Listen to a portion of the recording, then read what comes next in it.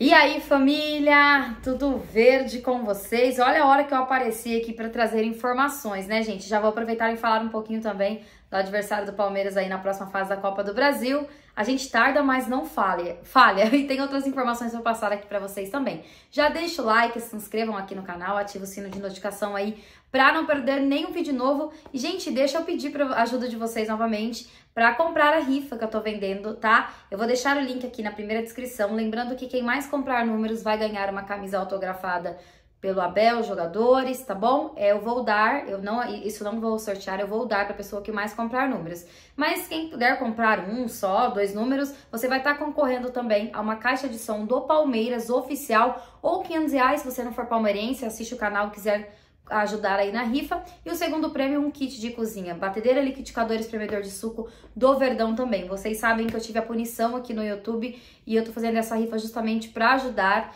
Então, eu queria que vocês me ajudassem. Eu vou deixar fixado aqui no primeiro comentário. Quanto mais rápido eu vender, mais rápido eu faço aqui o sorteio para vocês, tá bom? Bora lá então falar de Verdão, uma excelente notícia, se é, né? Eu acho que eu posso dizer isso, que é uma boa notícia, porque o Mike passou por exames e não teve lesão diagnosticada e treinou normalmente, tá? E o do Gabriel Menino, ele sofreu um entorse leve no tornozelo é, esquerdo e participou de parte da movimentação com o elenco. Então, a gente ter o Mike à disposição já gera um conforto para o torcedor do Palmeiras, porque sabe, né, que a gente é, a gente tem uma preocupação grande também com o Marcos Rocha, que está sempre se lesionando. Então, uma excelente notícia é que o Mike treinou normalmente, né, e deve estar apto aí para jogar os próximos jogos.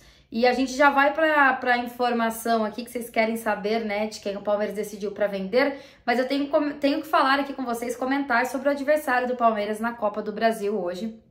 O Palmeiras pegou o São Paulo. É, eu não estava em casa, por isso que eu não consegui gravar o vídeo na hora. Ainda bem que a gente decide em casa, né? Vai ser difícil, não vai ser fácil, só que é, é a hora, né, da vingança, é a hora do Palmeiras é, passar por cima do São Paulo, passar para a próxima fase e espero do fundo do coração que não tenha nada extra-campo. Se o Palmeiras perder, que seja na bola.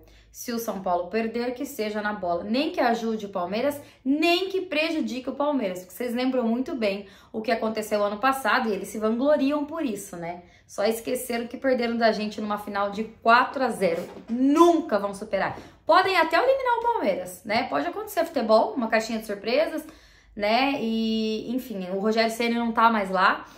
Que a gente jogava contra, contra o, São Paulo, né? Tinha o Rogério Ceni, vixe, ele já tremia na base com o Abel.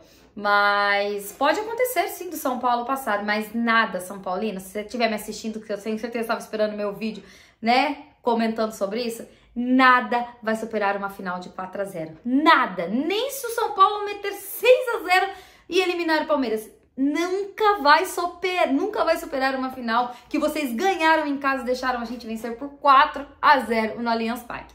Mas, de qualquer forma, espero que o Palmeiras entre com vontade, que vença, porque a gente quer passar para a próxima fase, até porque, além do título, de mais um título de Copa do Brasil, se a gente conseguir chegar até a final, é, o dinheiro né, que recebe da Copa do Brasil é muito bom, então quanto mais dinheiro, melhor.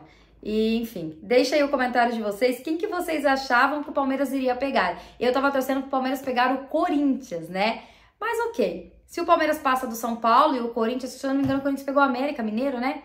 É, a gente pode ter um confronto, Palmeiras e Corinthians, numa semifinal, mas vamos aguardar para ver, porque surpresas podem acontecer. Aí deixa o comentário de vocês se vocês gostaram do adversário do Verdão. Gente, o Veiga possui nesse momento sondagens da Inglaterra, da Itália e Espanha. Palmeiras se mantém decidido é, que não vai vender o Veiga, tá?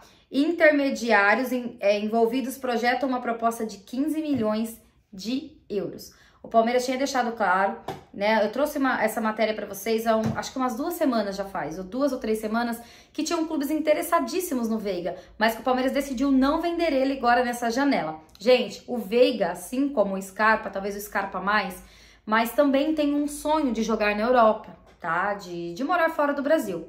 Então, se aparecer uma oportunidade boa, eu acredito que o Veiga vai. Eu não acho que o Veiga vai abandonar ali o Palmeiras no meio da temporada. Eu não acho que seria o perfil dele fazer isso, a não ser que seja, che chegue algo muito tentador. Mas eu acho que a gente não consegue segurar o Veiga para o ano que vem. é uma opinião com informação, porque lá de dentro do Palmeiras eu já ouvi essa informação, tá? E eu acredito nela, que o Veiga deve ir embora logo, só que não no meio da temporada, tá? O Palmeiras não vai vender o Veiga no meio da temporada. Já não é o caso do Giovani. O Palmeiras se prepara para vender Giovani em julho. É, o Palmeiras entende que o atacante seria quem menos daria pre, é, prejuízo técnico à equipe e garantiria um bom valor. O jogador deve ser negociado com proposta acima de 12 milhões de euros, tá? Essa informação é do Nicola. Ai, Cássia, você tá me dando informação do Nicola. Eu não acredito nisso, gente. Eu já tinha informação, desde o começo do ano eu falo isso, reforcei esses dias em vídeo, que o Palmeiras teria que vender um jogador para conseguir manter as contas, enfim, a gente teria que vender um jogador, tá? Seria vendido um jogador, a gente não sabia quem. Então essa informação do Nicola pode sim ser verdadeira, verídica, né? Até porque o, o Giovani não vem sendo utilizado por Abel Ferreira, né? Então pode ser uma opção para a diretoria. Eu venderia Breno, Navarro, dá para colocar mais quem nesse bolo Tabata? Também, não sei, dá pra vender uns ali em vez de vender o Giovani. Eu acho que o Giovani ainda ajudaria muito o Palmeiras. Mas não sou presidente, não sou diretora, não sou o Abel, né? E a gente tem que ficar aqui e torcer que se ele for vendido que seja por um bom valor. Até porque já ofereceram por ele 14 milhões e o Palmeiras não vendeu, 14 milhões de euros, né?